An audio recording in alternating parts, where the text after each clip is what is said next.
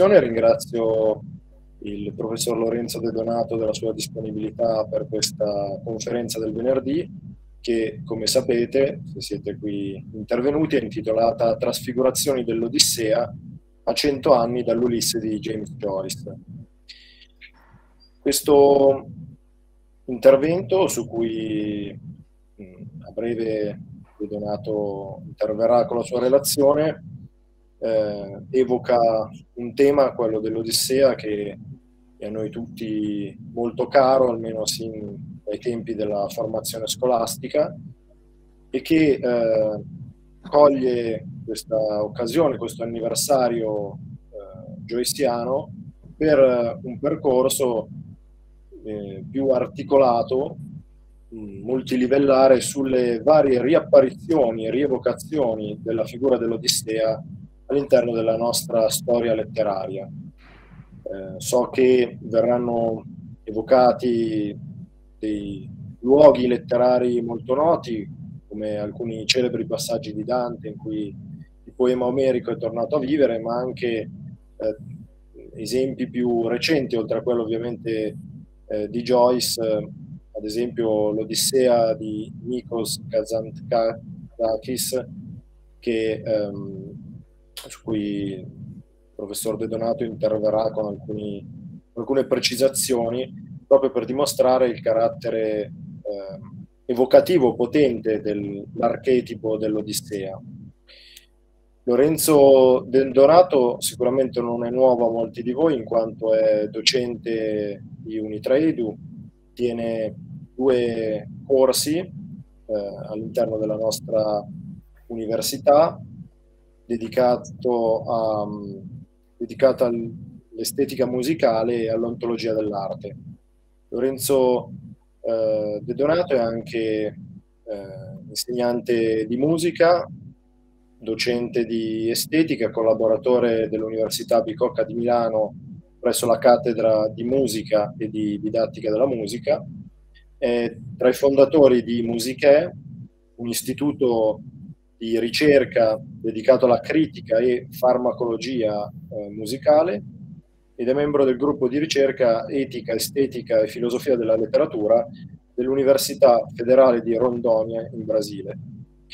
La sua ricerca attraversa tematiche di carattere filosofico e musicale che hanno trovato nella disciplina dell'estetica una sintesi felice e nell'intervento di oggi darà ecco, applicazione concreta a questo ricco percorso di studi e di ricerca eh, all'interno di un tema di carattere letterario, ma sono sicuro dagli echi anche profondamente filosofici ed esistenziali. Non voglio sottrarre ulteriore tempo, mi scuso anche per il leggero ritardo, per il fraintendimento dell'orario e lascio subito la parola a Lorenzo, collega e amico, per il suo intervento e vi auguro a tutti un buon proseguimento. Grazie. Grazie. Grazie dell'introduzione. Buonasera. Grazie. Buonasera a tutti. Grazie Luca, ringrazio il professor Siniscalco per la bella introduzione, ehm, a cui sono legato come diceva anche lui, da un rapporto di amicizia e di stima, oltre che eh, da questioni appunto universitarie. E, ehm, ringrazio anche ovviamente il Centro Universitario Unitre per l'organizzazione di questo incontro. Allora, ehm, inizio con alcune velocissime premesse eh, per poi entrare nel vivo, visto che appunto c'è stato già qualche minuto di, di attesa. Ehm, per capire un po' come già eh, molto precisamente diceva il professor Siniscalco, eh, inquadreremo il tema stasera. Allora, sicuramente ehm, proverò a mh, darvi un'interpretazione un po' eh, originale, diciamo, ehm, una ehm, interpretazione eh, anche personale, possiamo dire, sulla base di una ricerca che sto conducendo per che, che, spero poi presto possa confluire anche in un saggio, quindi in una forma più compiuta, ma tenendo però eh, ehm, come eh, presupposti eh, alcuni strumenti concettuali che invece sono noti. Ehm, esempio, eh, un'analisi di tipo semiono- semiologico di, eh, possiamo dire, ispirazione eh, echiana. Quando Umberto Eco scrive ehm, Opera aperta, lancia nel campo aperto della cultura e degli studi eh, una prospettiva innovativa che ehm, ha poi grande risonanza nel Novecento, cioè eh, la semiologia come studio del segno, la semiologia come ehm, possibilità di interpretare le opere d'arte, i testi letterari, eh, opere d'arte di qualsiasi tipo, di qualsiasi forma, fattura, disciplina, ehm, ma quindi nel nostro caso anche testi letterari, allo scopo di istituire connessioni che spesso non sono contenute in quell'unico testo letterario che si prende ad esempio. Eh, questo è mh, il concetto più ampio che anche affronteremo di intertestualità, quindi il dialogo tra i testi, o meglio in generale il dialogo tra le opere, il dialogo tra gli oggetti culturali, quindi una prospettiva interpretativa di più ampio respiro, diciamo così. Ehm, quindi questo, come infatti esattamente, intuendo bene, diceva eh, il professor Siniscalco, ehm, è potremmo dire un approccio anche di filosofia della letteratura. Eh, parleremo di eh, personaggi che nascono nella narrativa, nella poesia, parleremo di argomenti che hanno a che fare con la letteratura, ma li analizzeremo appunto da una prospettiva un po' più ampia, di tipo concettuale, quindi come se allargassimo il campo della, no- della nostra macchina da presa oggi.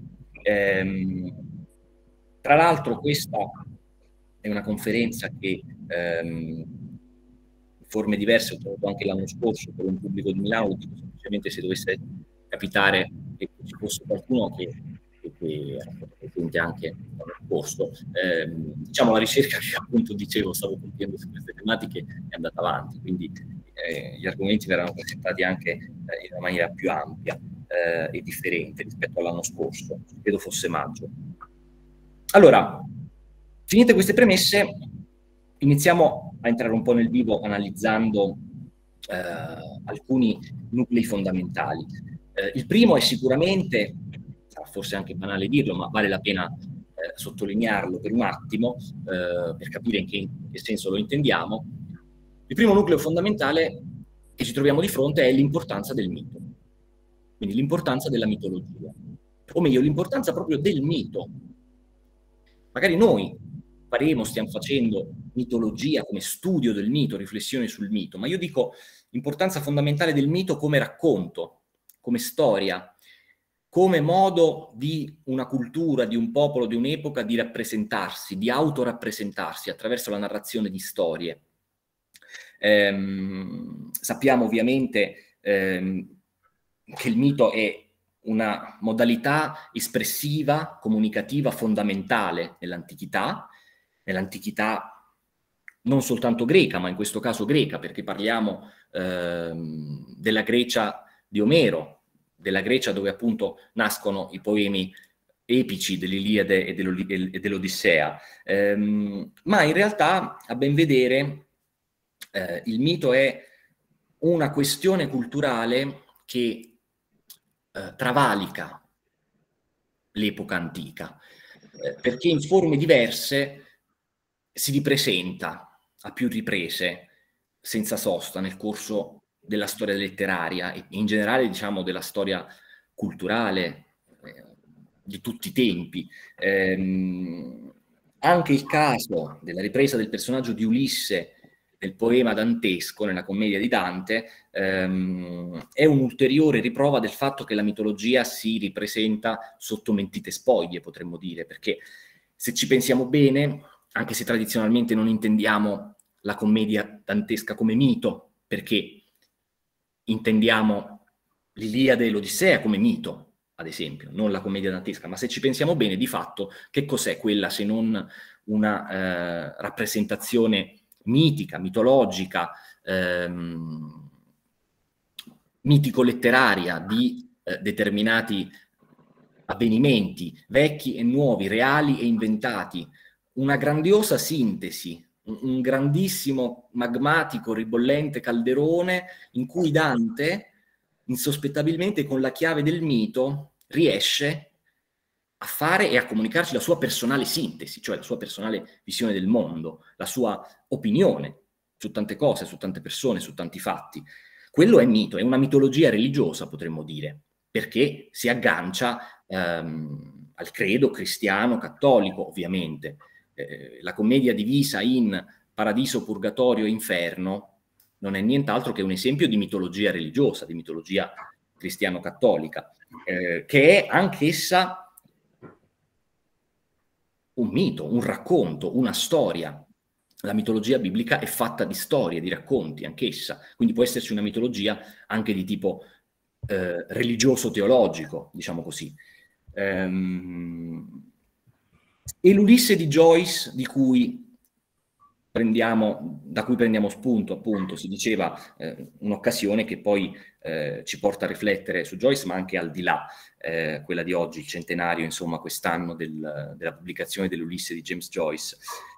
L'Ulisse di Joyce ulteriormente eh, è un mito, ma è un mito che si presenta in una chiave molto eccentrica, molto particolare, perché è un mito trasposto, è un mito trasfigurato.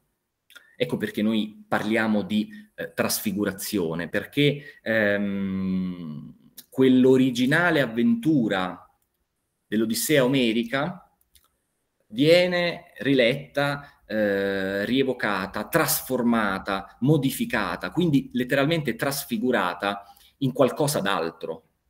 Non è soltanto questione di, proprio nel caso dell'Ulisse di Joyce mi riferisco, non è solo questione di riapparizione, di continuazione, di rievocazione, come può essere nel caso dell'Ulisse dantesco. Rievocazione, ma anche continuazione di certe avventure rimaste, tra virgolette, in sospeso. Ma nel caso di Joyce, ecco perché ripeto la parola del titolo, ed è un concetto fondamentale, è una vera e propria trasfigurazione, cioè una trasformazione totale. Trasfigurazione in sé è una parola che, se ci pensiamo un attimo, viene essa stessa da un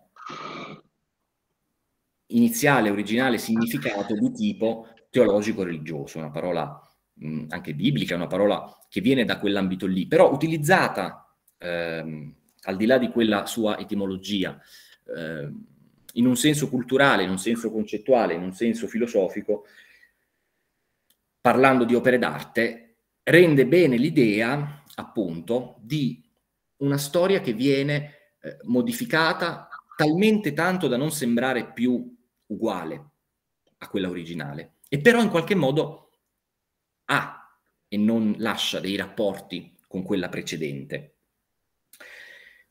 Per fare quindi un esempio molto pratico di cose che sicuramente sono note, ehm, l'Ulisse di Joyce è in realtà la storia di un uomo normale che racconta, ehm, il romanzo racconta un giorno normale della vita normale di questa persona. Ma a ben vedere, e soltanto al di là poi di tutto quello che è stato scritto e detto dopo, ma quando è stato pubblicato il libro per la prima volta, gli unici elementi a disposizione del lettore erano il titolo, Ulisse, e i titoli dei capitoli, che richiamavano gli episodi dell'Odissea.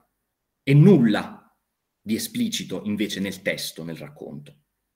Quindi il racconto in sé è quello di, dicevamo, una giornata normale di una persona normale eh, ma a ben vedere di completamente reale e di completamente normale in questa storia c'è ben poco, perché quei titoli sono un meccanismo, un gioco messo in campo dall'autore per fare un continuo riferimento ad un mondo oltre, che pur nella storia non è presente, nella storia, tra virgolette, intesa in senso realistico, e però è continuamente presente ad ogni passo, perché è come ehm, il riferimento al mito nell'Ulisse di Joyce è come la creazione di una doppia realtà, di un doppio scenario, potremmo dire di, un doppio, eh, di una doppia interpretazione dei fatti.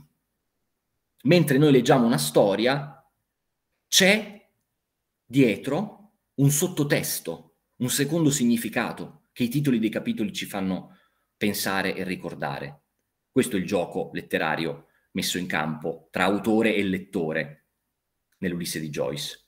E qui già stiamo parlando allora di intertestualità, perché nell'essere un solo libro, l'Ulisse di Joyce, è due libri, perché bisogna aver letto l'Odissea di Omero per capirlo, ma potremmo dire invece, in senso più esteso, è più libri, è davvero tante cose, perché in realtà anche il eh, riferimento stesso alla questione del rapporto tra autore e lettore che facevo è esso stesso ehm, un gioco che lo stesso Eco chiamerebbe intertestuale, perché è un uscire fuori dal libro per chiedere il coinvolgimento del lettore, che deve ricreare l'opera ogni volta che la legge, perché ogni volta che la legge coglie nuovi significati, nei fatti intesi in senso realistico, le cose che succedono quella giornata, coglie ogni volta nuovi riferimenti alle cose dette nel poema originario, quindi il riferimento al sottotesto contenuto nel primo testo. Ecco, quindi diciamo che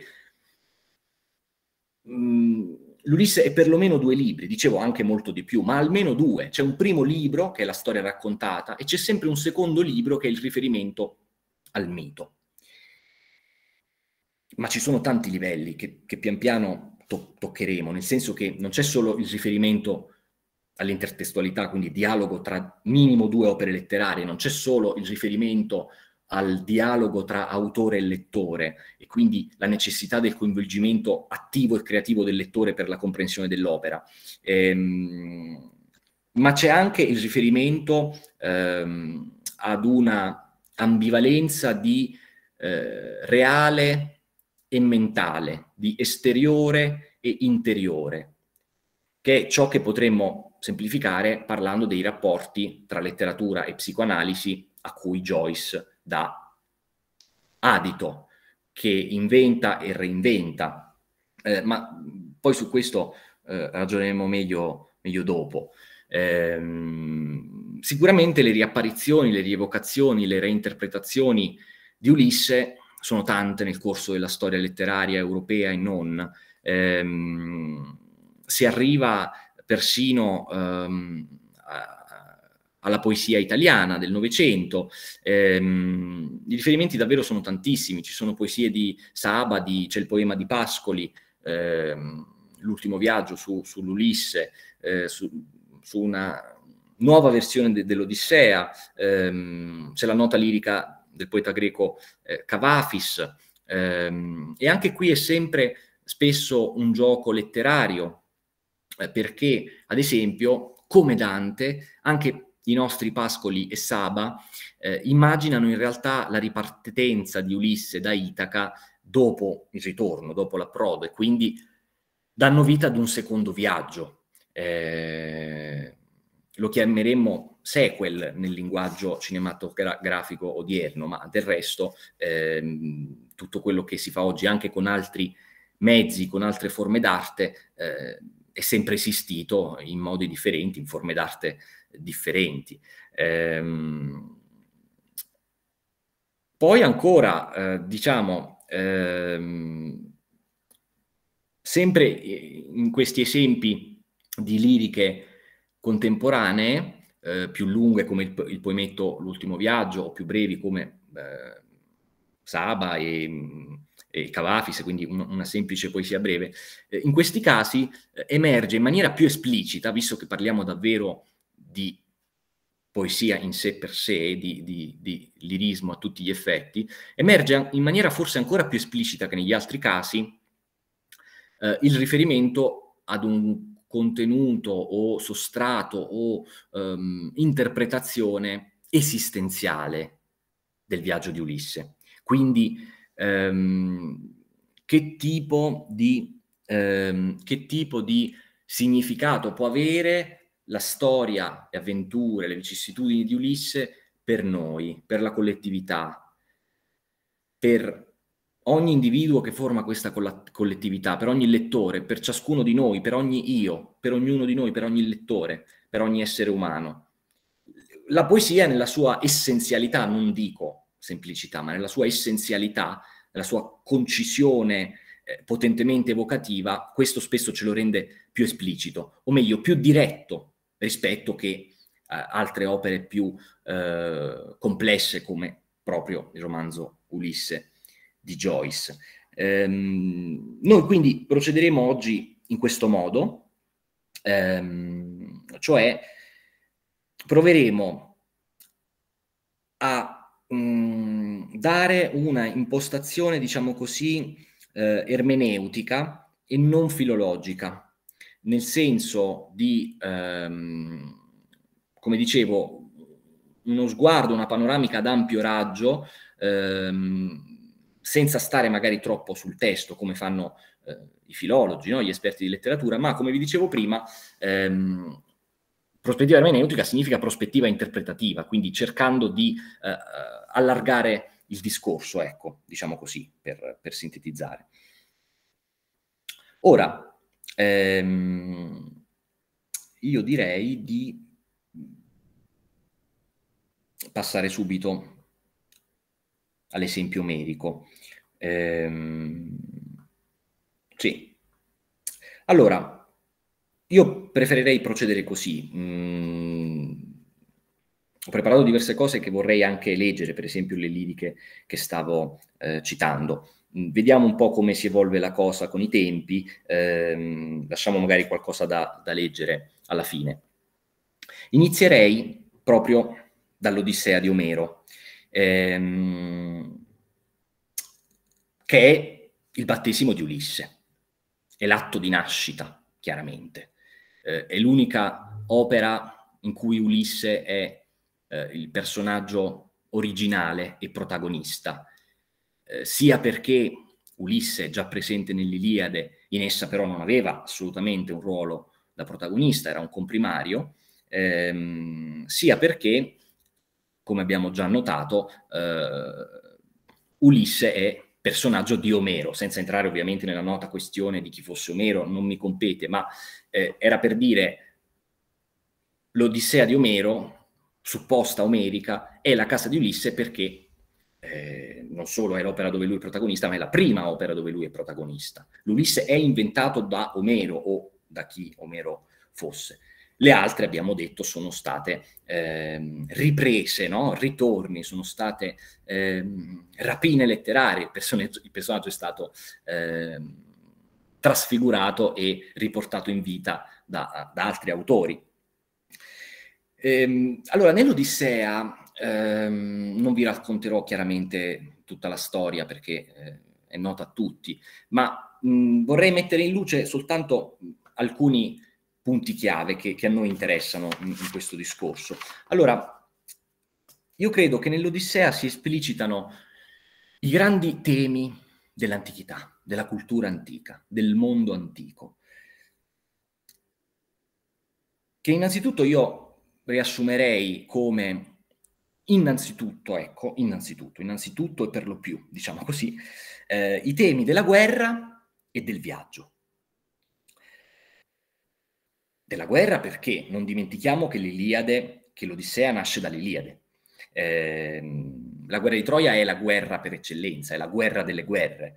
Eh, quindi io parlerei di polemos, che è la parola greca, il concetto greco di guerra, come una dimensione originaria. Come ho detto, proveremo sempre a fare uno slittamento no? dal filologico all'ermeneutico, al concettuale, al filosofico, a questo che a noi interessa in questa sede. Il polemos è un po' la dimensione originaria e ancestrale dell'essere umano, ehm, una sorta di ehm, base fondamentale che non si può evitare, che mh, anima le spinte dell'individuo. Ehm, perché dicevo allora il viaggio come altro grande tema? Eh, quindi prima cosa il polemos non solo come guerra reale, ma come concetto, come concetto umano. Ehm, perché dicevo il viaggio? Perché sappiamo che il poema dell'Odissea è un nostos.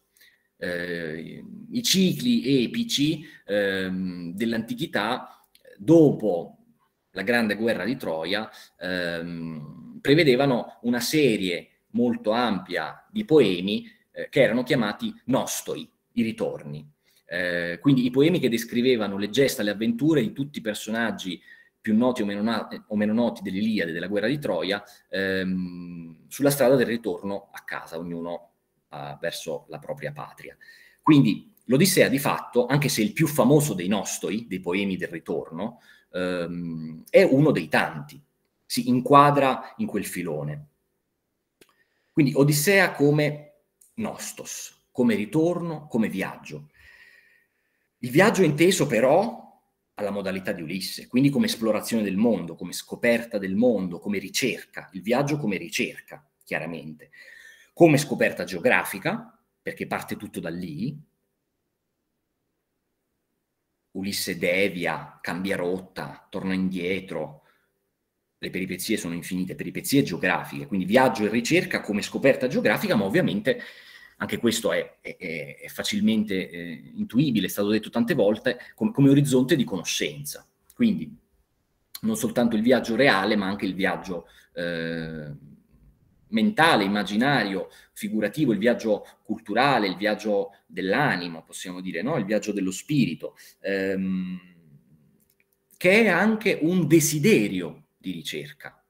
Quindi eros, desiderio di conoscenza, il viaggio di Ulisse dentro le colonne d'Ercole. Ovviamente devo per forza citare delle cose molto note che tutti già conosciamo, però è per arrivare poi, ripeto, ci provo almeno no? ad un livello eh, superiore per, per, provare a dire qualcosa di, di, di, originale, di interessante.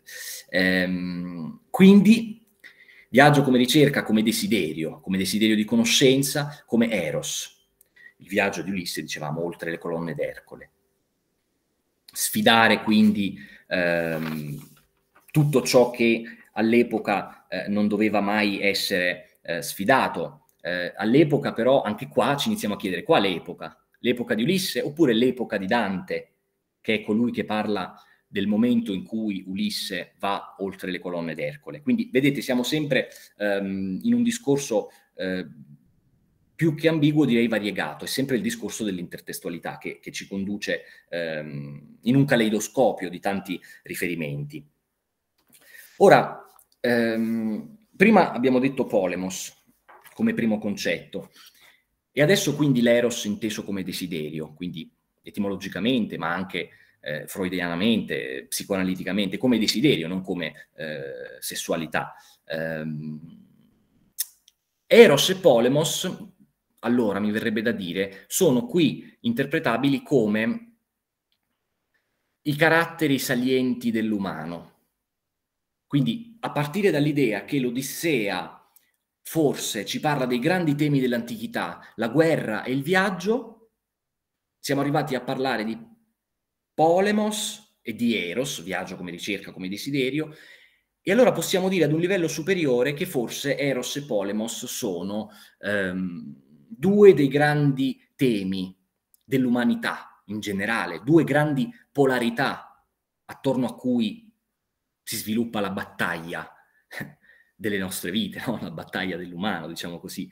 Ehm, qualcuno potrebbe pensare che non parlo di Thanatos, perché in realtà il binomio eh, classico freudiano ehm, è di Eros e Thanatos, al di là del principio di, pre- di piacere 1920. Eh, Eros e Thanatos anche Freud fa questa operazione, o meglio noi la facciamo perché la faceva Freud, prende questi termini greci ma data la straordinaria vastità eh, concettuale e filosofica della, del, della lingua greca, del vocabolario, delle parole in greco, non sono semplicemente parole in greco, ma sono concetti che detti con la parola in greco risuonano di tante altre cose che eh, non ci direbbe la parola italiana, diciamo così. Ehm, Eros e Thanatos, in al di là del principio di piacere di Freud, sono la pulsione di vita e la pulsione di morte il polo positivo e il polo negativo. Um, in qualche modo però, eh, mi permetto di dire, almeno nella nostra analisi, ehm, perché è chiaro se andiamo a occuparci di psicologia e psicoanalisi in senso stretto, parlando di quell'opera di Freud, c'è un motivo per cui c'è il Thanatos, c'è la pulsione di morte. Ma nel nostro caso, eh, io invece, anziché Eros e Thanatos, partendo da quello che dicevamo di viaggio e guerra, ricerca e conflitto, desiderio e conflitto, dico Eros e Polemos perché, a ben vedere, il Thanatos non è che lo stesso Polemos portato alle estreme conseguenze. Cioè la conseguenza del conflitto è l'annientamento, la conseguenza della guerra è la morte. Quindi addirittura forse ad un livello più semplice potremmo anche dire semplicemente bios e, tanano, e thanatos. Bios invece è la vita come ovviamente tante parole anche in italiano che hanno questo prefisso, la biologia, no? ci parlano di questo. Ehm, quindi, diciamo così, ehm, Eros e Thanatos, Freud, pulsione di vita e pulsione di morte. Bios e Thanatos intesi in maniera semplice, schematica, vita e morte. Ma nel nostro caso ciò che vi propongo è Eros e Polemos, desiderio e conflitto una pulsione positiva e una pulsione negativa, una pulsione di vita e una pulsione di morte, diciamo così. Perché se noi facciamo un esempio antropologico, ehm, spesso molti studiosi lo fanno, e a proposito addirittura dell'Ulisse di Joyce lo fa anche eh, Pietro Pascarelli, che è uno psichiatra, ma anche studioso, autore, eh, scrittore, ehm, ovvero fare un riferimento alle culture, perché è antropologico, un riferimento antropologico, fare un riferimento alle culture primitive per eh, farci capire cosa di primitivo c'è in noi, a livello inconscio e non, al di là delle strutture e sovrastrutture ovvie e banali della nostra vita quotidiana, della nostra vita moderna, della nostra cultura raffinata, eh, raffinatasi nel corso del tempo, ehm, sovrastrutture eh, che ci impediscono poi di vedere certe basi così primitive, così originarie. A cosa mi riferisco? Mi riferisco che ehm, se noi, ecco, faccio una parentesi, vi ho citato ehm, Pietro Pascarelli, lui insieme ad altri eh, il 9 aprile, mi fa piacere dirvelo, visto che siete interessati a queste tematiche, sabato 9 aprile eh, terranno un convegno eh, online eh, come il nostro, eh, presso l'Istituto Italiano di Studi Filosofici di Napoli, eh, che è un istituto di ricerca con il quale collaboro, ehm, e sarà proprio sull'Ulisse di Joyce, perché ovviamente il 2022 è questo centenario, quindi ci sono tante, tra virgolette, celebrazioni, come anche la, la, piccola nostra oggi. Quindi in realtà se vi interessa basta andare sul sito dell'istituto, Istituto Italiano di Studi Filosofici, iscriversi alla newsletter e poi vi arriva il link. Anche io lo seguirò perché ci saranno molti studiosi che parleranno dell'Ulisse di Joyce. Ehm, vi dicevo, esempio antropologico. Pensiamo ad un uomo primitivo. Ehm, non comprende nulla della natura di se stesso e del mondo. Deve soddisfare i suoi bisogni primari, la fame, che lo spinge a cacciare, la ricerca di cibo. È soddisfatta questa eh, il bisogno di protezione e di sicurezza, la ricerca di una dimora, ehm, trovato il riparo, ehm, un bisogno naturale, fisiologico di eh, accoppiarsi, di riproduzione. Ehm, allora, e per soddisfare questi bisogni essenziali, questi desideri essenziali, questo eros originario che inizia la lotta, inizia la ricerca, la, peregrina- la peregrinazione, il viaggio, la battaglia. Si esce lì fuori nel mondo e si inizia a lottare per ottenere la soddisfazione di questi bisogni. Ed ecco il polemos. Quindi in realtà questo è per dire che allora il Thanatos come distruzione, fine, conclusione, arriva dopo come esaurimento di tutte queste energie. Quindi il Thanatos è figlio del Polemos. E allora in questo senso um, Eros e Polemos, di cui ci parla l'Odissea, non ci siamo, anche se, se è sembrato che ho parlato di qualsiasi altra cosa, non ci siamo mai allontanati da lì. Eros e Polemos, il desiderio e il conflitto, il viaggio e la guerra, di cui ci parla l'Odissea, sono i due bisogni primordiali e primari dell'essere umano e sono appunto entrambi contenuti già in quel capolavoro omerico che è l'Odissea. Questo come prima suggestione su Omero.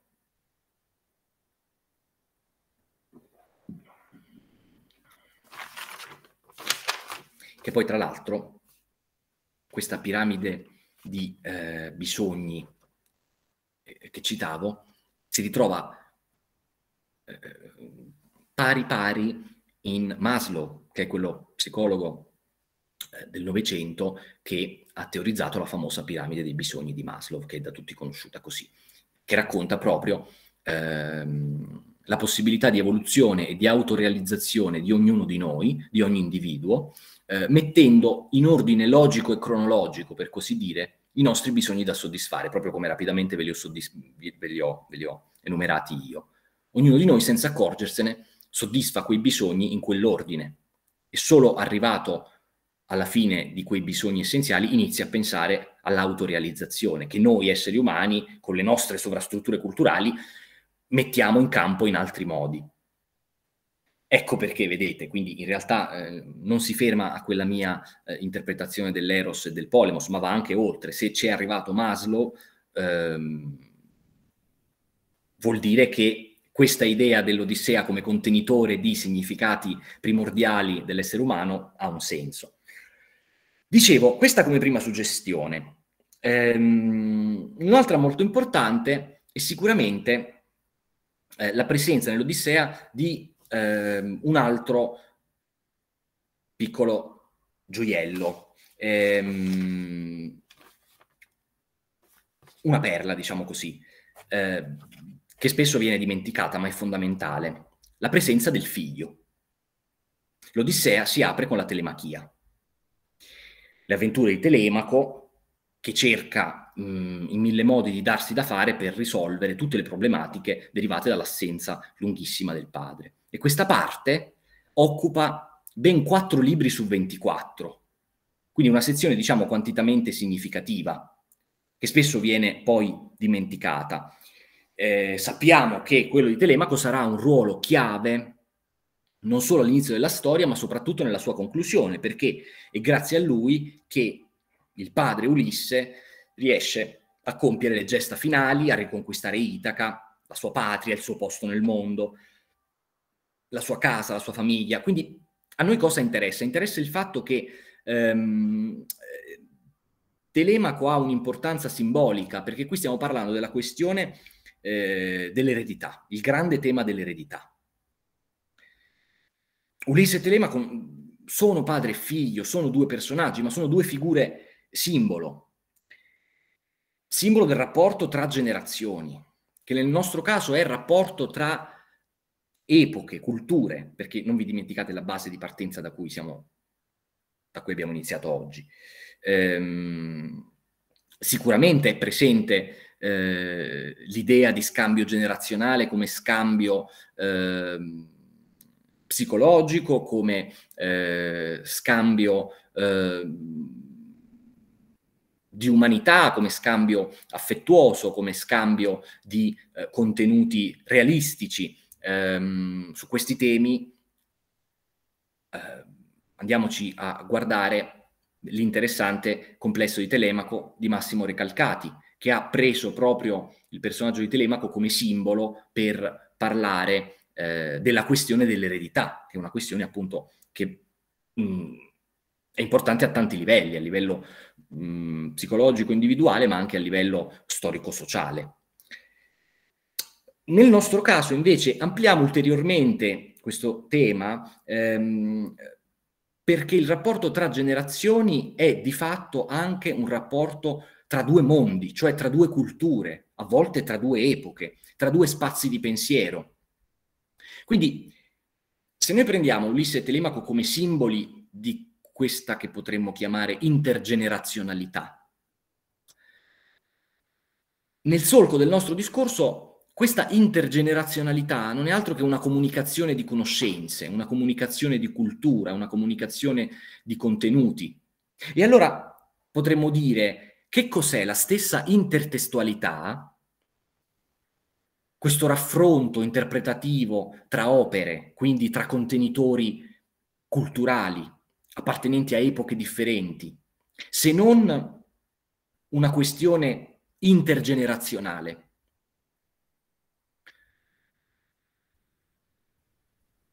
Sembra complesso magari per le due parole intertestualità e intergenerazionalità, ma in realtà eh, secondo me è, è, è, semplice da un punto di vista davvero, eh, per me è stato illuminante quando mi sono trovato a pensare questa cosa. L'intertestualità il dialogo tra le epoche, tra le culture, tra le opere.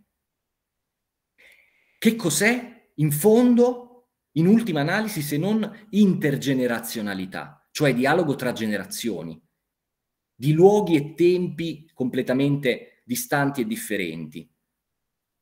Quindi anche la ripresa eh, dell'Ulisse di Omero da parte di Dante, la ripresa dell'Ulisse di Omero e Dante da parte di Joyce. Che cos'è questo discorso intertestuale se non un discorso intergenerazionale ad ampio raggio? Perché non riguarda solo le generazioni di una famiglia, ma riguarda le molte generazioni della civiltà culturale umana. Quindi anche di questo ci parla l'Odissea in generale. Ehm, tutte queste cose sono poi cose che ritorneranno tra un attimo quando, quando andremo avanti. Ehm, quindi queste sono le suggestioni, secondo me, base, diciamo così, che, che nascono eh, dall'Odissea omerica.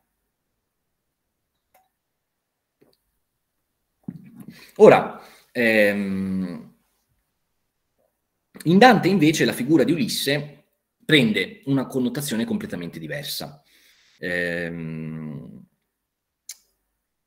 nell'Odissea, nella, nella, commedia dantesca, ehm, la presenza di Ulisse sappiamo essere un passaggio brevissimo nel canto 26 dell'inferno, eh, breve, brevissimo nell'economia dell'intera opera, ehm, però per noi è importantissimo perché ehm, è un passaggio fondamentale che apre le porte alla continuazione del mito.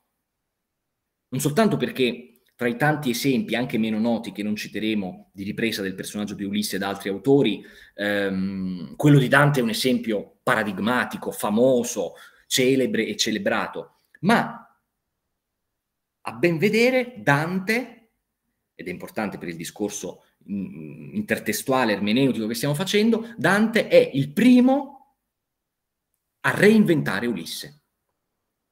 Le cose raccontate nel canto 26 dell'inferno sono nuove, non sono contenute nell'Odissea di Omero. Quindi è la prima volta che qualcuno riprende Ulisse non rifacendo l'Odissea, ma inventando altre cose. Quindi possiamo dire che Dante apre la porta a, a alla operazione di trasfigurazione, ecco qui, della figura di Ulisse. Quindi non tanto un rifacimento pedissequo dell'originale, ma una trasfigurazione, un cambiamento totale, una presa di possesso di quel personaggio per reinterpretarlo alla propria maniera. E Dante lo fa alla propria maniera, alla maniera della propria epoca. Perché Ulisse ehm, nella commedia ha, è presentato innanzitutto in una dimensione etica, in una dimensione etico-morale, ma una dimensione etica di tipo negativo, perché chiaramente viene presentato nell'inferno come peccatore. Perché siamo nel Medioevo, nell'epoca medievale, tutto è eh, tragicamente, direi, orientato a, ad una certa visione del mondo, anche la commedia di Dante, chiaramente. Dico qui cose ovvie. Ehm, per esempio lo storico Jacques Le Goff, un medievista, che a me piace moltissimo, eh, afferma, e questo sarà tutto ciò di cui ci parla la presenza di Ulisse nella commedia di Dante, afferma che la mentalità dell'essere umano medievale è radicalmente segnata, eh, contaminata da tutta una serie di eh, ossessioni legate ovviamente all'impostazione religiosa cristiana. Quindi ehm, Jacques Le Goff nella sua storia del Medioevo cita diversi concetti, diverse ossessioni eh, della persona, dell'uomo medievale, ehm, l'ossessione della gerarchia, quindi eh, dell'autorità, l'auctoritas, ehm, che viene tradotta anche a volte come ossessione, pensate sempre a Dante alla commedia, ossessione dell'autorità, dell'auctoritas, ma viene tradotta anche come ehm, autorità letteraria, culturale, quindi eh, l'ossessione per gli antichi, per le fonti. Ehm, non a caso la guida di Dante è Virgilio, I personaggi, alcuni che incontra, sono personaggi eh, delle fonti verso le quali bisogna avere rispetto, come appunto Ulisse tra i tantissimi.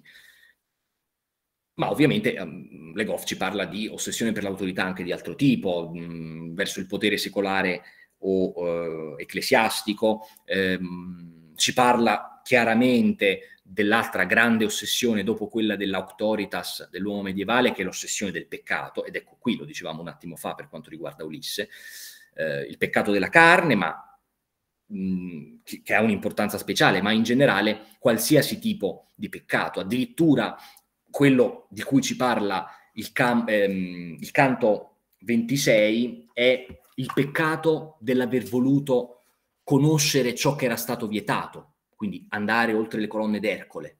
Semplicemente un desiderio di conoscenza viene identificato come peccato che condanna all'inferno per l'eternità. Quando ehm, Ulisse racconta il suo viaggio. Tra l'altro il canto 26 è breve, eh, sono insomma nemmeno 150 versi, ma è meraviglioso per tutti i significati contenuti. Ehm, ecco. Quando Ulisse, raccontando nell'inferno a Dante le sue vicissitudini, dice ehm, racconta ecco, di, di, di avviarsi ehm, nello stretto di Gibilterra. Eh, l'un lito e l'altro vidi infin la Spagna, fin nel Morocco, l'isola di Sardi, e l'altra che quel mare intorno bagna. Io e compagni eravamo vecchi e tardi, erano vecchi, era il secondo viaggio dopo quello nar- narrato nell'Odissea. Eh, quando venimmo a quella foce stretta, lo stretto di Gibilterra, dove Ercole segnò i suoi riguardi, a ciò che l'uomo più oltre non si metta L'uomo non si può mettere oltre le colonne d'Ercole, i limiti della conoscenza, i limiti della vita imposti da Dio, dall'autorità suprema. E questo è il senso per i medievali. Ehm... O frati, ecco il discorso di Ulisse ai suoi compagni. Dissi, è Ulisse che parla, che per centomila perigli siete giunti all'Occidente, a questa tanto picciola vigilia di nostri sensi che del rimanente, non, voglia, non vogliate negar l'esperienza di retro al sol del mondo senza gente. Già qui, ehm, tanto picciola vigilia di nostri sensi che del rimanente. Vabbè, questa è la bellezza della poesia di Dante, quindi ehm, non vogliate negare i nostri sensi eh, per quel poco che ci resta da vivere, perché dopo tutta lo, l'Odissea, dopo i vent'anni di guerra e di viaggio, Ulisse è voluto ripartire, i suoi compagni eh, vecchi e tardi lo hanno accompagnato, per quel poco che ci resta da vivere, eh, non vogliate negarvi questa esperienza di retro al sol, quindi del mondo dietro le quinte, diciamo così, oltre le colonne d'Ercole, del mondo senza gente. E qui ovviamente arriva il passo celebre. Considerate la vostra semenza, fatti non foste a vivere come bruti, ma per seguire virtute e conoscenza. Quindi ehm, non è un peccato, è seguire la vostra dignità di esseri umani, nelle parole di Ulisse, perseguire la virtù e la conoscenza. Però le parole di questo Ulisse sono parole dell'Ulisse dantesco. Quindi è l'ossessione dei medievali del peccato di cui ci parla Le Goff. Vedete, tutto insieme nella commedia di Dante in cui appare Ulisse. L'ossessione dell'autorità, c'è Virgilio, ci sono gli antichi, ci sono le fonti, c'è Ulisse stesso, c'è il peccato. Ehm... Anche l'inferno stesso era un'ossessione. La paura di un'eternità di dolore, ehm, l'inferno proprio dove troviamo Ulisse. Eh, del resto anche la topografia della commedia, i luoghi della commedia, le tre, cantiche, le, le tre cantiche cioè i tre, ehm, i tre topoi, i tre luoghi, purgatorio, paradiso, inferno, eh, già quella stessa è una gerarchia. Come diceva eh, Luca, eh, tutti ce lo ricordiamo dalla formazione scolastica, tutti dalla formazione scolastica si ricordano di aver fatto almeno una volta uno schema di come si va dal basso verso l'alto, dal sotterraneo inferno, attraverso la montagna del purgatorio, la montagna dell'inferno, insomma la montagna del purgatorio, e poi si sale verso il paradiso. Quindi quella topografia è di fatto una gerarchia. ancora l'ossessione della gerarchia. Ehm, quindi nel percorso attraverso questi tre, tre luoghi della commedia dantesca abbiamo a che fare con tante delle altre ossessioni di cui parla Jacques Le Goff per quanto riguarda eh, la mentalità medievale, l'ossessione dell'invisibile, del sovrannaturale, del magico, del mistico. Ehm, tutte cose che poi nella mentalità moderna sono scomparse, sono state ribaltate. Eh, adesso capirete tra un attimo dove voglio arrivare con questo discorso. Tutto questo aveva, cioè il soprannaturale, l'invisibile, un valore simbolico, doveva essere interpretato sempre solo in relazione al paradigma teologico, religioso, divino, ehm, per cui anche i sogni non erano fenomeni interiori, ehm, manifestazioni dell'inconscio, ma erano visioni mistiche, chiaramente, no? erano manifestazioni eh, dell'esteriorità verso l'interiorità, quindi dell'esterno verso l'io, del sovrannaturale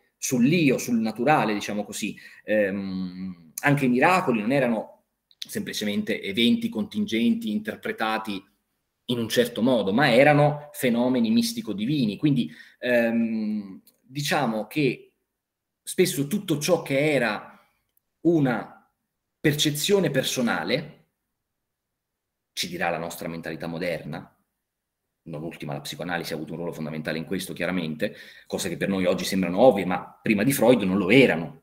Questo è il discorso. Per questo stiamo parlando di cento anni che sono trascorsi dall'Ulisse di Joyce, perché cento anni fa, quando Freud aveva appena iniziato a pubblicare tutte le sue, le sue opere, i suoi scritti, tutte queste cose che per noi oggi sono ovvie meno male, all'epoca non lo erano, quindi non solo nel Medioevo, ma anche tanto tempo dopo. Vedete sempre il rapporto fondamentale tra diversi momenti storici, il raffronto. Ehm, quindi diciamo, tutto questo per dire due cose fondamentali, che la presenza di Ulisse nella commedia dantesca ci racconta di tutto questo, ci racconta dell'essere umano medievale, delle sue ossessioni, della sua mentalità, del suo modo di pensare il mondo, ehm, ma ci racconta anche, lo stavo infatti iniziando a introdurre, dei passaggi successivi. Ora sarà troppo facile in poche parole riassumere secoli di storia, perché sto appunto arrivando al Novecento dopo avervi annoiato con cose precedenti al Novecento. Ehm, però dobbiamo essere un po' così schematici, mi perdonerete. Eh, quindi stavamo dicendo tutto ciò che a volte erano percezioni della persona, cose quindi interiori, fenomeni interni, vengono dalla mentalità medievale interpretati come, vengono proiettati all'esterno, diciamo così.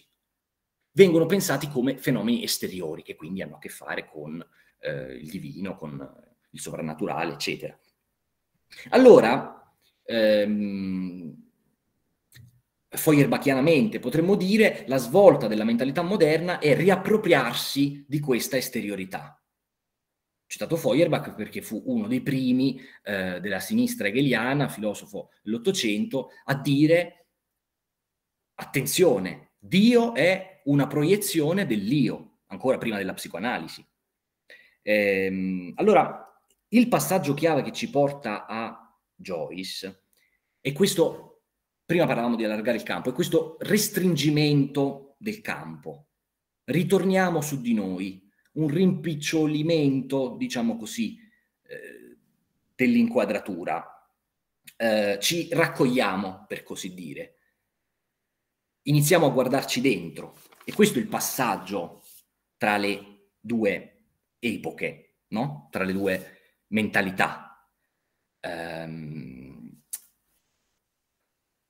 Sempre Le Goff, in quel libro molto bello, che tra l'altro è un libretto, um, non, eccolo, no, comunque è, um, non ricordo il titolo, per questo lo cercavo, è un libretto di, sulla storia del Medioevo sintetizzata, eh, lo potete trovare facilmente in, in, poche pagine, ma non è tanto un racconto di eventi storici quanto parallelamente, come stavamo provando a fare, un, un uh, raffronto anche con interpretazioni concettuali di quel tipo di, di mentalità. Sempre Jacques Le Goff, dicevo, dice a questo proposito, questo passaggio di mentalità, ehm, le confessioni del prete diventano le confessioni dell'analista. Ci si sposta, per così dire, come Feuerbach diceva, da, da, da Dio all'io. E, Le Goff sembra dirci, Le Goff è uno storico, non è un filosofo, non è un, uno scrittore, è uno storico eh, allo stesso modo lui allora sembra dirci, eh, ci si sposta dalla sagrestia al lettino, ci, ci si sposta eh, da una ricerca verso il fuori a una ricerca verso il dentro, da una passione per l'esterno, per l'esteriorità, a una passione per l'interno, per l'intimo, no? per l'interiorità. E, ehm, questa è quella che viene chiamata a livello concettuale la secolarizzazione e che ad un livello più complesso chiameremmo kenosis, svuotamento. Um,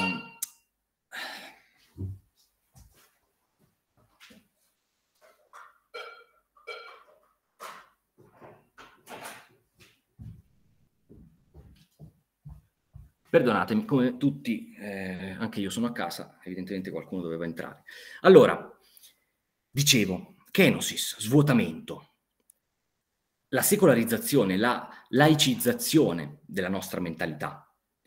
Ehm, si può parlare in filosofia di svolta kenotica, uno svuotamento perché la densità di questi significati teologici, e non solo, anche mistici, ven- viene ehm, svuotata e riempita poi nuovamente di significati umani. Perdonatemi un attimo, arrivo subito.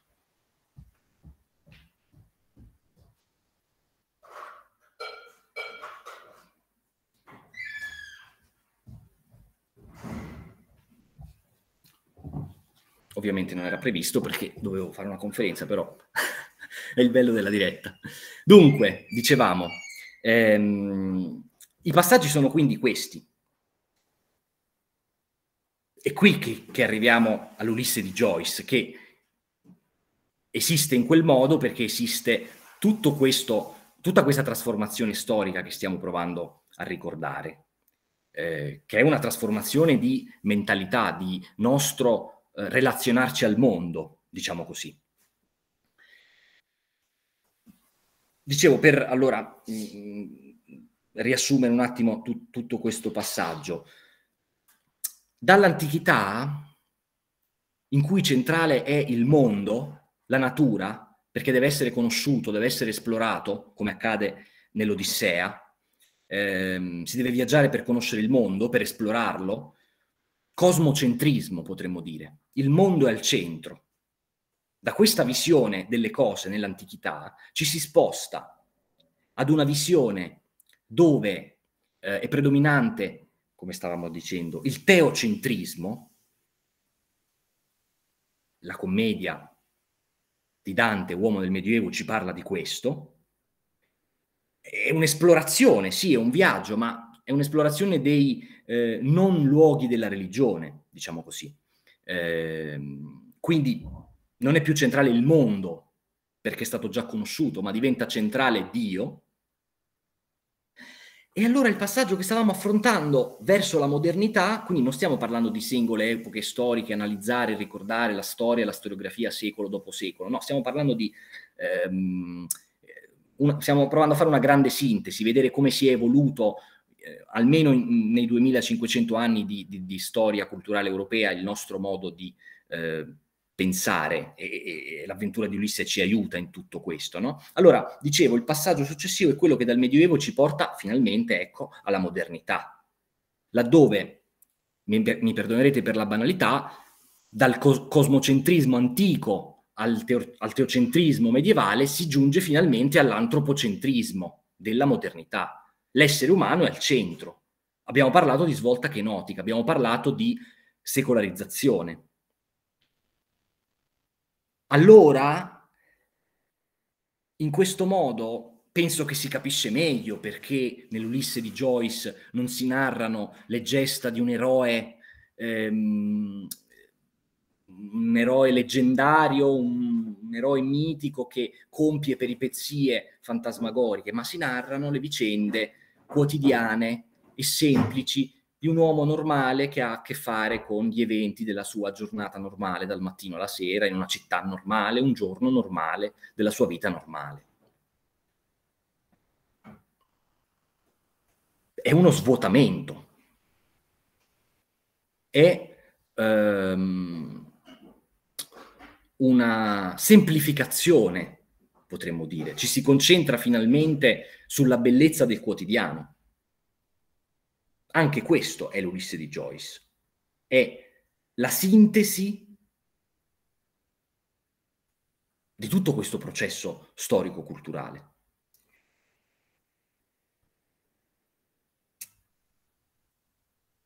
Allora, arrivando a Joyce, noi arriviamo al Novecento. Vi dicevo che il Novecento ehm, contiene anche eh, diverse eh, altre incarnazioni di Ulisse. Vi ho citato alcuni poeti. Ehm, c'è un passo che spiega bene questi concetti che stiamo trattando adesso dell'ultimo viaggio di Pascoli, 1904 eh, dai poemi conviviali, eh, in cui dicevamo anche qui eh, si narra di un nuovo viaggio di Ulisse. Vi leggo il passo della conclusione, dove si parla tra l'altro anche in questi versi di Calipso. Ed ecco usciva con la spola in mano, d'oro, e guardò. Giaceva in terra, fuori del mare, al piede della spelonca, un uomo, sommosso ancora dall'ultima onda. Il bianco capo, bianco perché è anziano, eh? il bianco capo accennava di saper quell'antro, tremando un poco, e sopra l'uomo un tralcio pendea con lunghi grappoli dell'uve. Era Odisseo, lo riportava il mare alla sua dea, è tornato da Calipso. Lo riportava morto alla nasconditrice solitaria, all'isola deserta che frondeggia nell'ombelico dell'eterno mare. Nudo tornava chi rigò di pianto le vesti eterne che la dea gli dava. Bianco e tremante nella morte ancora. Chi l'immortale gioventù non volle. Ed ella avvolse l'uomo nella nube dei suoi capelli ed ululò sul flutto sterile, dove non l'udia nessuno. Non esser mai, non esser mai, più nulla, ma meno morte che non esser più. Allora, qui Pascoli ci racconta la morte di Ulisse. In questi versi conclusivi, meravigliosi, ci pone questa domanda, che è una domanda esistenziale, una domanda eh, dell'uomo moderno, che però viene a noi proposta da Pascoli parlando di Ulisse, ancora di Ulisse. Meglio non essere mai o meglio non essere più? Meglio non essere mai nati, non aver fatto esperienza della vita, non essere mai venuti al mondo, o meglio accontentarsi pur vivendo e avendo vissuto di dover morire, di dover a un certo punto non essere più. Quindi qui chiaramente, come vedete, ci spostiamo su un altro fronte, tutto il discorso che stiamo facendo della introspezione. C'è un accartocciarsi della sensibilità, dell'io su se stesso, un ripiegamento. Non si pensa più all'esplorazione avventurosa del mondo, al compiere gesta eroiche, imprese leggendarie, lottare con i mostri, sfidare gli dei, incontrare mh, creature magiche. Ma qui stiamo parlando di noi, stiamo parlando dell'esistenza. Stiamo parlando del nostro io e della nostra vita. Questa è l'operazione di Joyce.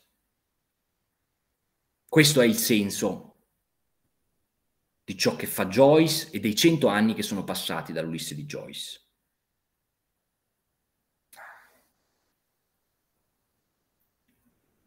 Tra l'altro, ehm,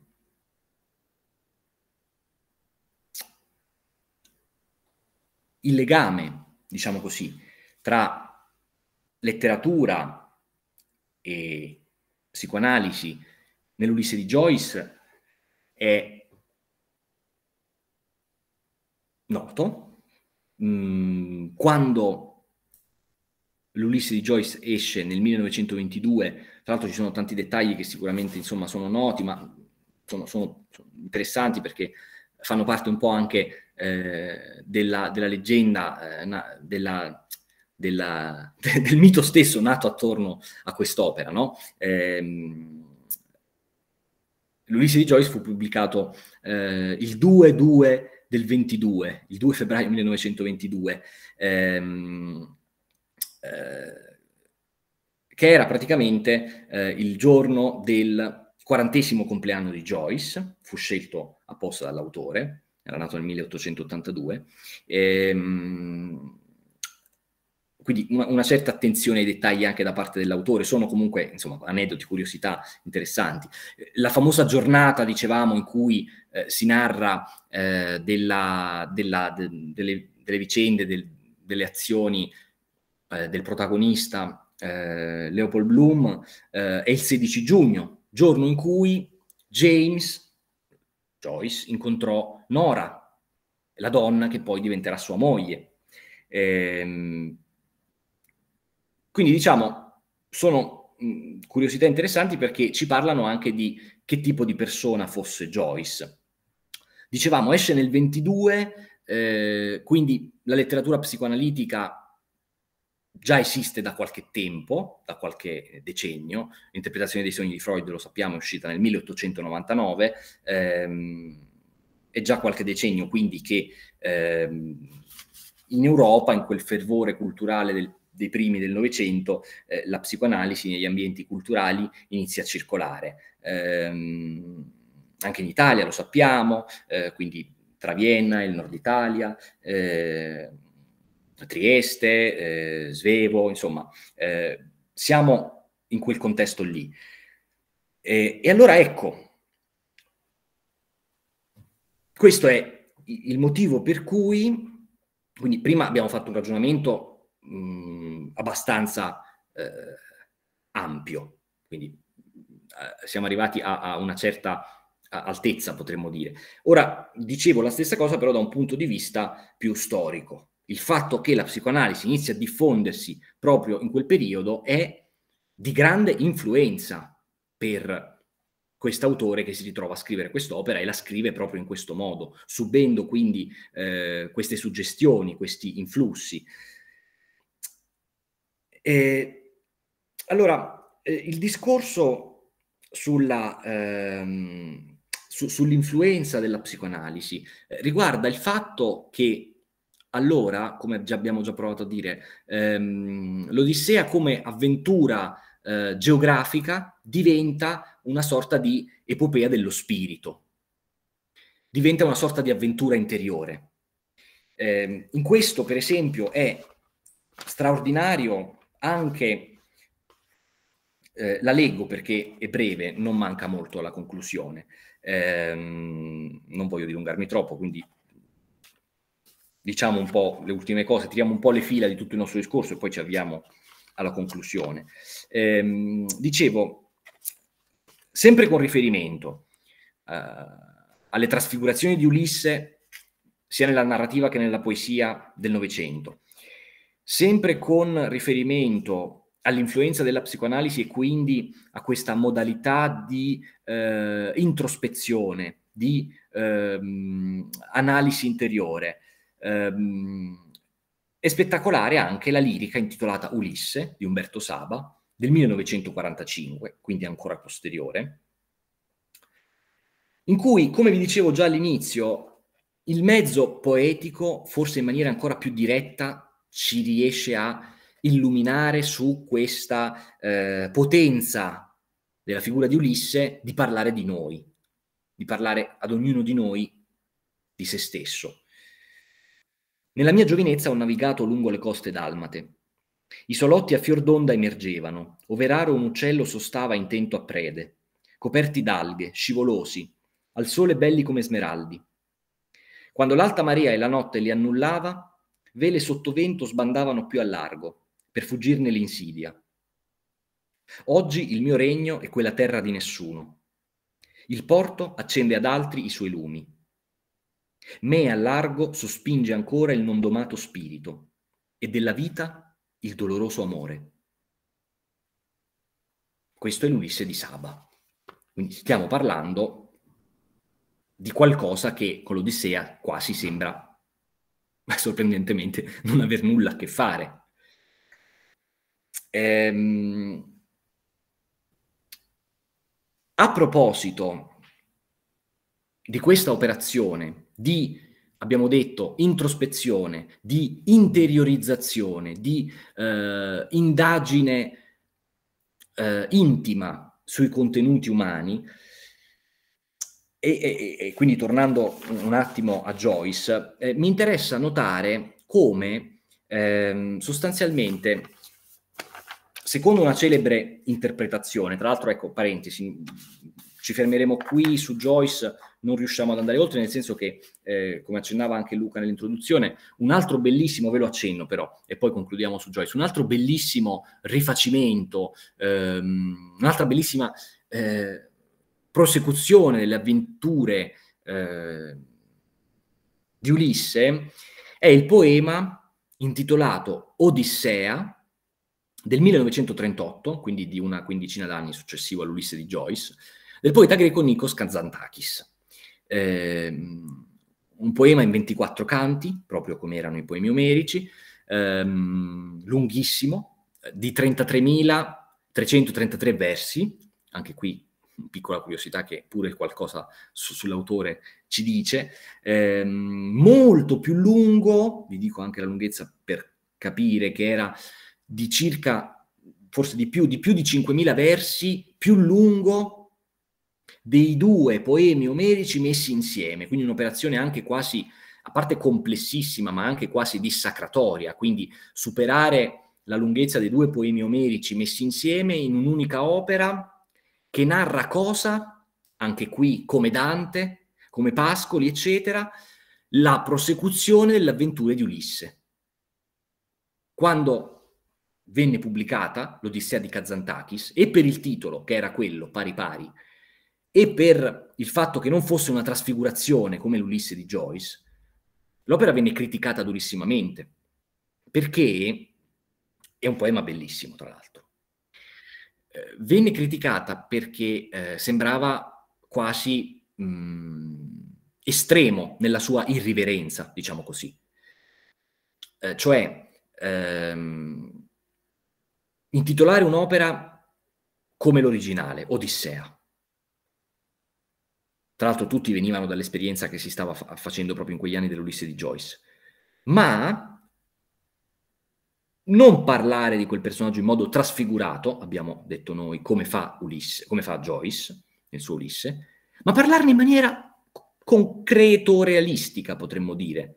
Quindi nello stesso stile di Omero, un poema in versi che narra davvero di Ulisse che, dopo essere tornato a Itaca, riparte e compie infinite altre imprese non c'è tempo di approfondire questo, ma anche questa è una bellissima eh, trasfigurazione, mm, rivisitazione, reincarnazione o semplicemente continuazione, prosecuzione delle avventure omeriche 2500 anni dopo, perché ripeto, è tra i più recenti, sì, la poesia eh, di Saba del 45, ma è, è, solo una brevissima poesia, quindi questo qui è del 38, è sicuramente eh, tra, tra, le opere eh, note eh, che riprendono Ulisse più recenti. Eh, eh, dicevo, andiamo a concludere su, su Joyce, diciamo qualcosa mh, di veloce su, sullo stile, ehm, per capire come anche lo stile, che poi sappiamo tutti essere la cosa più particolare, caratteristica di quest'opera, e, e da lì deriva anche la, la difficoltà no, di lettura, di comprensione, quindi non possiamo non dire qualcosa su questo, perché è una diretta conseguenza di tutto il discorso che stavamo facendo prima a un livello più ampio. Per esempio, nella celebre, dicevo, interpretazione dell'Ulisse di Joyce di Lacan, quindi ehm, filosofo, psicoanalista, psichiatra, eh, post-freudiano, che riprende la psicoanalisi freudiana ampliandola. Ehm, in questa interpretazione di Ulisse di Joyce, eh, Lacan dice che la scrittura per Joyce è uno sgabello, una possibilità di elevarsi, una possibilità anche di salvarsi dalla sua interiorità secondo Lacan, problematica. Quindi la scrittura come antido, antidoto, diciamo così, alla eh, psicopatologia, alla malattia. Ci sono molti autori, psichiatri, psicoanalisti, che sono anche studiosi, accademici, eh, ricercatori, che riflettono ehm, su come la creatività, l'opera d'arte, l'arte in sé, possa ehm, essere una trasformazione di una condizione interiore problematica che può portare alla stabilizzazione dell'io, quindi ad una stabilità, ad un equilibrio, può portare quindi ad una tra- salvezza, tra virgolette. È il vecchio processo che Freud chiamava semplicemente sublimazione, sublimare le spinte istintuali in contenuti ehm, più eh, concettuali, diciamo così, eh, quelle sovrastrutture culturali nostre, umane, di cui parlavamo prima. Eh, se questo è un discorso della filosofia dell'arte, della psicologia dell'arte noto, il fatto che eh, non la pazzia, la follia, ma una leggera eh, nevrosi, una situazione anche semplicemente problematica di tipo personale, esistenziale, può essere sanificata attraverso la dedizione all'arte. Lacan con Joyce fa invece un passaggio ulteriore, cioè dice, lui non è semplicemente un nevrotico, ma è uno psicotico. E però nessuno se ne è mai accorto, quindi questa è la sua interpretazione originale, sulla base di studi anche biografici, sulla base di ricerche storiche, non, semplicemente, non, non se l'è semplicemente eh, inventato, insomma, è una interpretazione ma eh, si basa su, su, fonti storiche. Quindi secondo Lacan, ehm, Joyce non era semplicemente una persona inquieta o tormentata o nevrotica, ma era davvero uno psicotico. E però non è mai impazzito, perché attraverso la, scu- la scrittura è riuscito a tenere integra la sua personalità. E quindi sgabello perché è la sua possibilità di elevarsi, diventando celebre, immortale nella storia della letteratura e della cultura, ma anche di salvarsi. Perché eh, eh nota questo tipo di, eh, viene notato da questo tipo di interpretazione psicoanalitica, ehm, non è che beh, parlavamo eh, di instabilità o di nevrosi che conducono all'arte. Non è che quando si è folli o pazzi non si riesce a fare arte. Pensiamo a tantissimi infiniti casi, esempi che trattiamo poi anche a lezione, qui in i tre, eh, Van Gogh, Munch, ci sono gli artisti folli davvero, nel senso de- della psicosi. Però quando diventano folli, lo diventano definitivamente. Raramente si riescono poi a salvare o riescono a guarire. Così come eh, tanti esempi di ehm, casi clinici riportati dalla, psicopatolo- dalla psicopatologia, dalla, dalla storia, ehm, dalla storia della psichiatria, ci raccontano di, ma anche dall'attualità, insomma, dalla cronaca medica, ci raccontano di tantissimi eh, pazienti psicotici che però sono artisti. Pensiamo all'Art Blue, pensiamo eh, a tanti movimenti che eh, sono nati eh, a partire da collezioni di opere d'arte, dipinti, sculture eh, fatti da pazienti di manicomi all'epoca quando esistevano e comunque di luoghi di cura. Eh, quindi non è che un folle non può essere artista, però lo è inconsapevolmente, lo è senza riuscire a salvarsi, diciamo così. Molte volte, per esempio, lo fa Hans Prinzhorn, che fu uno dei primi a studiare questo legame tra psicopatologia e arte, molte volte la schizofrenia eh, produce arte, lo schizofrenico produce arte perché quel suo produrre arte è la ricreazione di un mondo che è il suo mondo interiore e che non corrisponde al mondo reale in cui vive. Lo schizofrenico non riesce a istituire un rapporto sano ed equilibrato e realistico col mondo reale che lo circonda, si rifugia in un suo mondo interiore e quando lo schizofrenico riesce a diventare artista, a produrre cioè opere d'arte di grande qualità, di grande bellezza, è perché riesce a trasferire il suo mondo interiore, che non coincide col mondo reale, in un mondo nuovo, finto, che è l'opera d'arte. Però perde il contatto con la realtà. E questo è il discorso. La normalità dei rapporti studiati eh, dalla medicina ma anche eh, dalla cultura in generale, la normalità dei rapporti tra psicopatologia e arte è questa, il fatto che si può produrre arte ma eh, non mantenendo la sanità, diciamo così. Allora, la, l'analisi di Lacan su Joyce è straordinaria perché ci racconta di Joyce come psicotico, ma come artista che riesce a mantenersi integro e a salvarsi grazie alla scrittura. Ed è per questo, secondo, jo- secondo Lacan, che la scrittura di Joyce è così complessa, che l'Ulisse è così come tutti lo conosciamo. Quindi ho fatto tutta questa divagazione per parlare davvero, per trovare una motivazione allo stile di Joyce nell'Ulisse. Come sappiamo non è lo stile di tutte le opere di Joyce, è lo stile dell'Ulisse. Quindi eh, questa scrittura magmatica, eh, questa scrittura confusa, questa scrittura eh, straordinariamente caleidoscopica, e perciò che noi parlavamo del, del fatto che doveva essere il lettore eh, ad avere un ruolo attivo e creativo nella lettura dell'opera.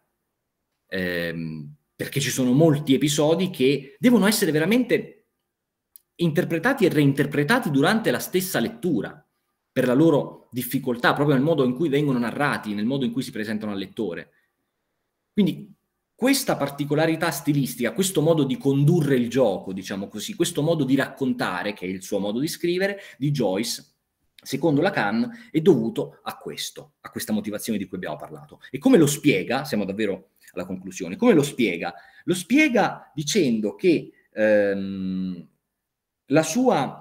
Ehm, eh, quindi diciamo, Lacan nell'analizzare, nell'analizzare l'Ulisse di Joyce fa una sorta di interpretazione, eh, fa una specie di filosofia e psicoanalisi dell'arte, fa una specie di interpretazione eh, psicologico-filosofica di quest'opera d'arte e dice che ehm, per darne una definizione, Lacan lo, definisce, lo, lo dice così, eh, questa polverizzazione della scrittura, eh, questo essere della scrittura dell'Ulisse di Joyce così caleidoscopica, così magmatica, il flusso di coscienza, no? così caotica, così apparentemente caotica, eh, è perché lui mescola tre registri. Nel pensiero di Lacan, lo riassumiamo davvero mh, in poche parole, eh, esistono tre possibilità della nostra mente di configurarsi. Il reale, che non è il mondo reale, ma il reale nostro interno, l'intimità, le esperienze dell'inconscio. Il simbolico, che è il reale, la nostra realtà, Lacan chiama simbolico tutto ciò che ci circonda, cioè il nostro riuscire a simbolizzare le nostre esperienze attraverso la cultura, attraverso le nostre sovrastrutture culturali. E l'immaginario, che è la nostra capacità appunto mitopoietica, cioè la nostra fantasia. Questi tre registri, cui Lacan, di cui secondo Lacan ognuno di noi è fatto, e che ognuno di noi tiene separati per poter vivere normalmente, nell'Ulisse Joyce li mette insieme. In che senso secondo Lacan ognuno di noi li tiene separati? Perché quando noi facciamo esperienze del reale, della nostra intimità, del nostro dolore, lo sappiamo soltanto noi cosa ci succede dentro. Quando noi facciamo esperienze dell'immaginario, anche qui è un mondo separato dall'altro, è il mondo della fantasia, il mondo della creazione, della creatività. Quando noi facciamo esperienze nel simbolico, cioè le esperienze con gli altri nel mondo normale, le esperienze culturali che sono esperienze simboliche, anche quello è un mondo separato dagli altri due. Quindi nell'esperienza di ciascuno di noi, secondo la teoria di Lacan, questi tre registri sono separati, avvengono separatamente, non possono essere simultanei non possono essere compresenti. Nella scrittura di Joyce, in quell'opera d'arte che è l'Ulisse di Joyce, questi tre registri sono compresenti. Perché è come se eh, il reale dell'autore, il suo dolore, la sua intimità, viene messa su carta e nell'essere messa su carta ehm, si mescola all'immaginario, alla fantasia, al racconto, al mito, e nel far questo però si traduce sempre in un registro anche simbolico, cioè di comunicazione con gli altri. E questo ovviamente riguarda anche quello che dicevamo prima, il fatto che ci sono vicende reali, il doppio registro, no? Le vicende reali di Leopold Bloom del suo 16 giugno e il riferimento al mito che è il sottotesto con cui noi lo leggiamo, anche lì è una mescolanza di eh, simbolico e immaginario. Quindi l'essere riuscito a mettere insieme questi tre registri della nostra esperienza in un'unica opera e secondo Lacan la grandezza di Joyce e del suo Ulisse.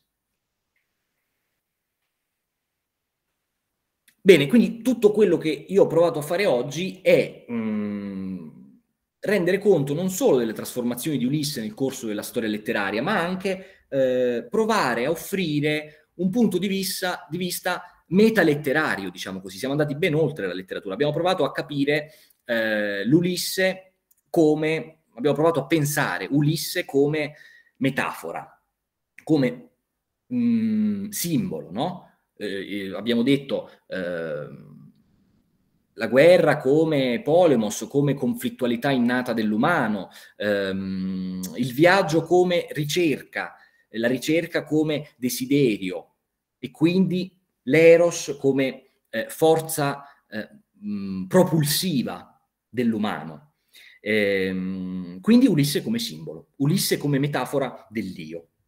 Ulisse, per attraversando queste diverse fasi, no? abbiamo visto l'esplorazione del mondo, l'esplora- l'esplorazione di Dio, l'esplorazione dell'io, um, Ulisse che si presenta come una sintesi di tutte queste varie fasi, nel senso che a seconda dell'epoca e della cultura in cui ritorna il personaggio di Ulisse, prende le caratteristiche di quell'epoca, di quel contesto storico-culturale, cioè serve ad esprimere l'essere umano di quel tempo.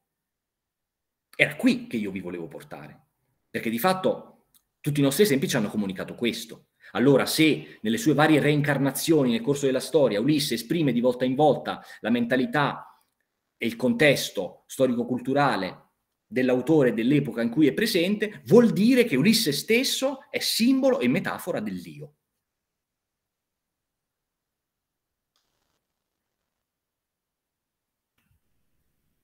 è metafora dell'esistenza umana. Concludo dicendo che allora forse per questo che a Itaca, diciamo così, nelle successive riletture, eh, Ulisse non trova nulla e riparte. Eh, in realtà potremmo dire che non è una disillusione, non è una delusione. Eh, tra l'altro nella bellissima Itaca di Lucio Dalla c'è quel passo alla conclusione, alla fine, no? prima del ritornello, ma in realtà è la fine de- vera e propria del testo, dove dice... Ehm, se ci fosse ancora mondo, sono pronto. Dove andiamo? Quindi tutti vogliono che Ulisse riparte. Ma non è che noi siamo delusi dal fatto che non trova nulla, siamo delusi perché Itaca è la fine del viaggio, è la morte, è la fine di tutto, è la conclusione definitiva. È una cosa bella perché è simbolo, diciamo così, della vita compiuta, ma è anche simbolo della fine in sé.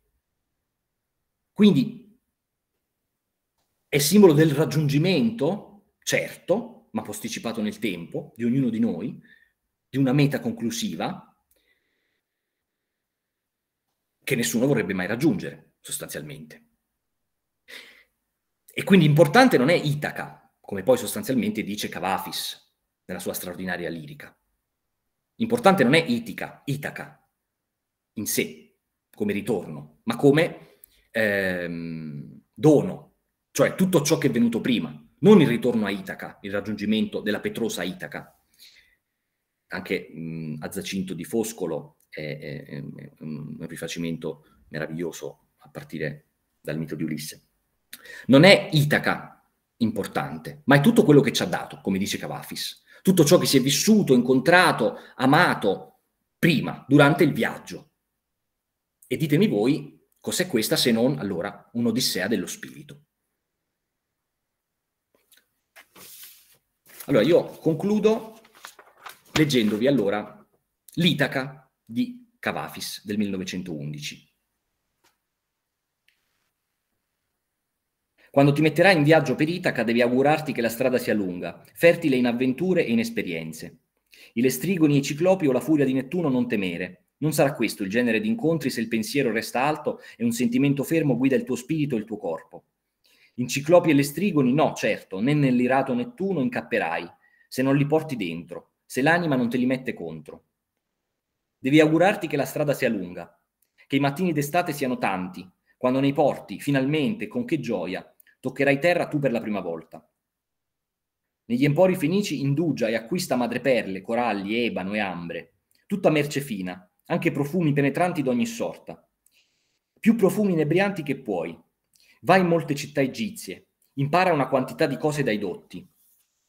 Sempre devi avere in mente Itaca, raggiungerla sia il pensiero costante. Soprattutto, non affrettare il viaggio. Fa che duri a lungo, per anni, e che da vecchio metta piede sull'isola, tu, ricco dei tesori accumulati per strada, senza aspettarti ricchezze da Itaca. Itaca ti ha dato il bel viaggio, senza di lei mai ti saresti messo in viaggio. Che cos'altro ti aspetti? E se la trovi povera, non per questo Itaca ti avrà deluso. Fatto ormai savio, con tutta la tua esperienza addosso, già tu avrai capito ciò che Itaca vuol significare. Grazie a tutti e grazie per la vostra pazienza. Grazie.